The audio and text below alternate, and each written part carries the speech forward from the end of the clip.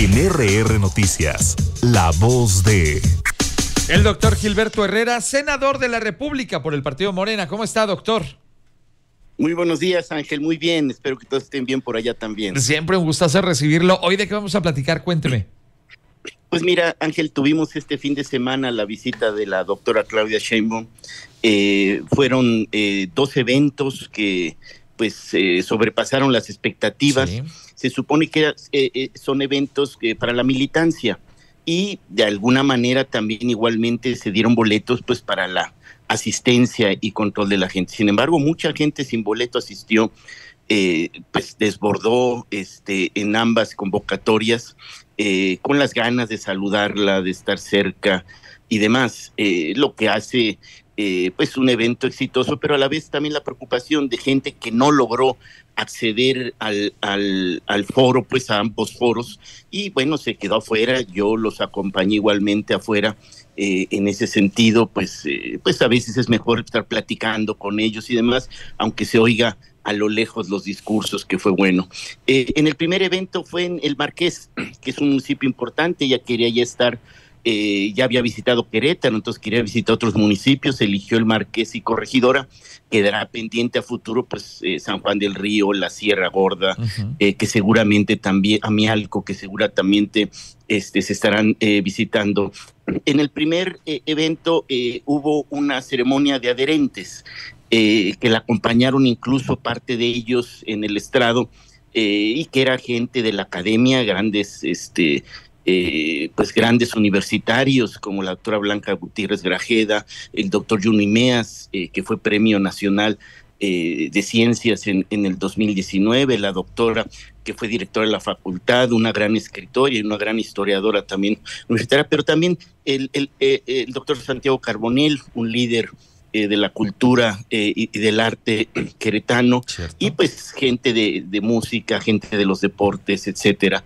y también aunque no estuvieron arriba, hubo adherentes, pues que eh, de, eh, pasan de sus partidos originales, háblese PRI, PAN y otros partidos que se están adheriendo al movimiento, Ángel. Entonces fue un, fue un evento más, eh, si te fijas, más hacia la militancia político, y el de la tarde fue más hacia la parte de organización ya partidaria eh, de la promoción y defensa eh, del voto en ese sentido, saludar a la gente que hacía, ha, asumido esas tareas. Eh, y bueno, fueron dos eventos muy importantes y en intermedio hubo y que el gusto de que RR nos acompañara, un honor haberlos tenido también en un panel este informativo y, de preguntas que se dio eh, en ese sentido. Entonces estuvimos muy contentos el sábado, Ángel, y pues ya aquí iniciando en el Senado las tareas que tenemos ya por venir, nos quedan ya pocas sesiones y muchas tareas este, por acabar. Por lo tanto, habrá trabajo intensivo acá también en el Senado.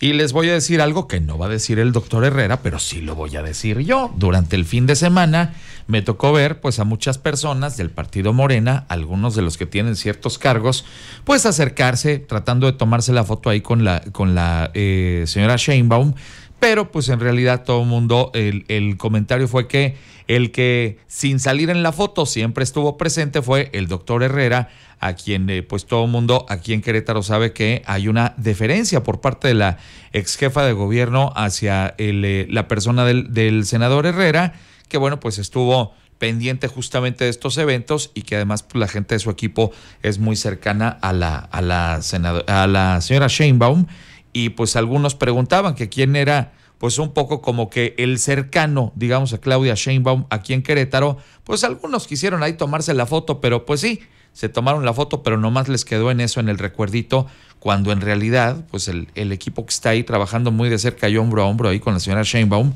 pues es el del doctor Gilberto Herrera. Él no lo va a decir, pero sí lo digo yo.